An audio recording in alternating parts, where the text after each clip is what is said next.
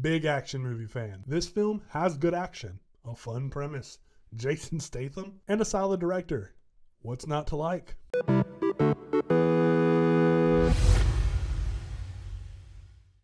I mean, sure, it clearly takes a lot of inspiration from John Wick, with a less thorough world building, but still some interesting tidbits. The action isn't next level, but it's supremely entertaining with some solid fights, especially towards the end. It's nice to see David Ayer churning out content again and again, considering what he went through with Suicide Squad. And I think because of him, this movie both feels like a throwback to a heyday of action cinema that just isn't around anymore, simultaneously being self aware and self serious in the best of ways. I love that balance. It doesn't try to be overly cute, overly complex, overly long, just a clear action romp revenge tale with a bit more at play than normal and it plays it straight when it could play it cute. The sequel potential is ripe. There's also a pretty crazy twist, some gnarly, visceral fighting, and a lot of one liners. What more could you ask for? Now, where the movie sours, though, is the writing a bit. The dialogue consisted of primarily four words bees, beekeeper, hive, and F. You know, that word. The rest of the dialogue is actually pretty rough, but it's elevated by a stellar cast who chew through every scene given, particularly by Irons, Hutcherson, and the ever reliable Jason Statham. There's an argument to be made he makes the same movies over and over, or that he plays the same character in every film, but who cares? He is one of the main guys responsible for keeping the action genre alive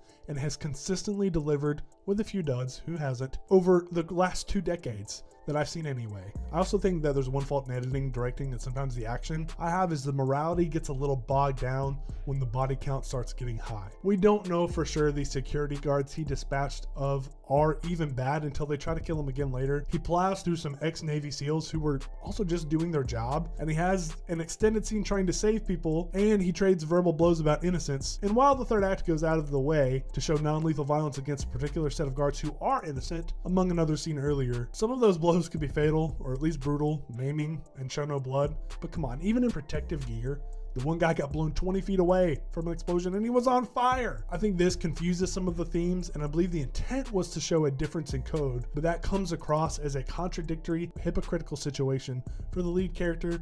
And I think that's due to the editing, because lots of good guys get beat up or blown up. One scene, I audibly said, Wait, did he make sure that guy made it out?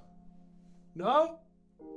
There's also some fast pacing where a character asks for a location, they hang up the phone, and the next scene cut to them answering the phone and getting said location. Why not just do it all in one scene? I kind of wonder if COVID guidelines impacted some of how they had to shoot certain scenes where actors won't appear in the frame together and it's edited around that, which is done well, but I noticed. It just doesn't seem like a deliberate choice and it didn't really work for me, but it had me thinking about how certain scenes were shot. I still think overall Ayer gave this a distinct but uh, not overdone vibe all around, except for one character who felt like she was from a completely different film or franchise. Ayer directs the action in a super serviceable, fun way that screams action movie extravaganza. Maybe not on the level of John Wick, but it's solid. One thing that's a pet peeve of mine in movies is abrupt endings, and the ending here is abrupt.